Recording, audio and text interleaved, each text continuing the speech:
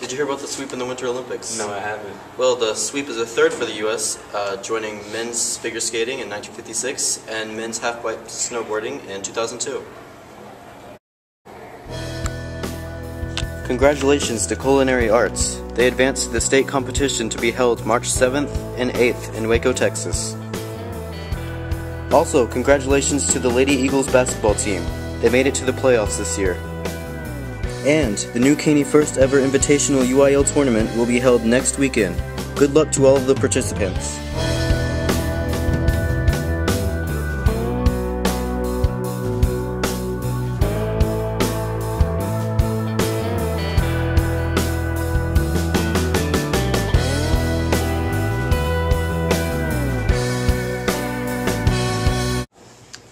Welcome to Eagle Vision. I'm Michael Epinette, here to interview some of the band members of School of Rock. Let's go.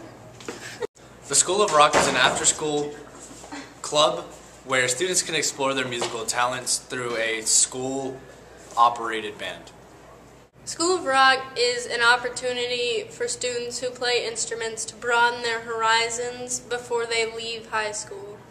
Um, we basically what I try to do is teach the kids how to play together as a band. So beyond um, you know playing by themselves, I try to give them you know pointers, tips and pointers on how to play well with others. Well, for me, um, I haven't had a lot of experience uh, with other bands and playing guitar in it, so this has provided me an opportunity to unleash my talents. School of Rock is not your traditional type of band. We all try out for pieces of songs by auditioning for them using modern instruments like electric guitar, keyboard, bass guitar. Just it's it's radical. It's pretty radical. I provide the equipment. So there I have I have an acoustic guitar, two electrics. I have a bass. Um, I have uh, I have an amp, a cabinet. I have all the the speakers for the PA system, which is here, and uh, I provide uh, the drum set, the the mic, and and beyond that, I give the kids ideas on what to play. Um, so uh, songs that I think will help them make them better musicians, but also um, songs that I think will give them skills um, playing with others in a band.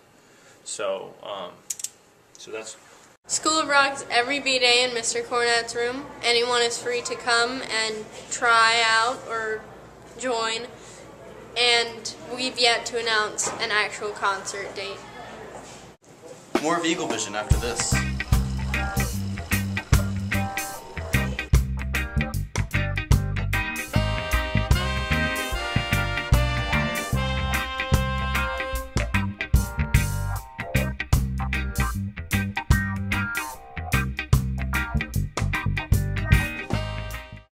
A recent sports lawsuit awarded millions towards football players has attracted attention towards sports injuries. played an entire game with a broken neck that I didn't even know of. Many live and breathe sports, but some pay the price. This particular player goes up for a layup, comes down his leg, and as he came down, he immediately just fell. He crumbled, and I knew it was something serious. I'd fractured my ankle and torn all the ligaments in it. And now, since then, I've I've just been rehabbing it and just watching my team go on without me and watching them practice just sucks because once you build a relationship and a family with them, it sucks not being able to be there for your brother. you know, a part of it, I guess. You know, when you when you do the sports and you, uh, you know, it's it's a risk that that a lot of us end up with. You know, injuries and whatnot. I was fortunate enough to not have any major injuries. When I had broken my neck for the first time, I thought maybe, you know, it'd be all right for me to go back into sports and start playing football again. The proposed agreement, which was hashed out during court ordered mediation and announced Thursday, includes 675 million to a compensation fund, 75 million for medical exams, and 10 million for a research and education fund. The doctor said that I'm very lucky for where it broke and that I should be really careful, so I I had made the decision to stop playing sports. Uh, as a parent, it's very hard to see your child get hurt. You got to determine how serious the injury is and if they're going to be okay. First off, to, to come back into the game, and if not, the seriousness of the injury, if it takes them out of the game, my word becomes uh, how will it affect them in the long term. So. It's very nerve wracking when your child is under anesthesia and is in surgery and having to wait for that. Just, it was tough watching my kid go through it. I had been a running back and a wide receiver for years, and I, I used to be the fastest kid in my hometown. Um, the record there was for a 100 meter dash was at 10.3 and I ran 10.7. Um, all the time that I had put into it, I felt like was for nothing.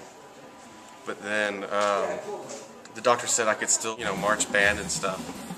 And um, so I, I continued marching. I went into theater and I found out that I'm pretty good at it. I mean, that's all I had to replace the sports time that I had given up. The National Football League has agreed to pay 765 million to settle thousands of player lawsuits over head injuries, a deal that both sides declared a win for retired athletes with debilitating brain damage. Those injuries can haunt you for as long as you live, and you're always going to feel uh, weather changes, your knee's going to hurt, or, or uh, my other son broke his foot several years back. He still has pain in his foot. So, you know, it's just take care of yourself. That's, that's what I would tell my students. My advice for athletes is to make sure that you are working out the correct way. Make sure you're doing your lifts the correct way. Um, make sure that you don't start out too quick when you come back from an injury. Do what your physical therapist tell you to do. With a look at sports stories, I'm Sarah Lara. Thank you.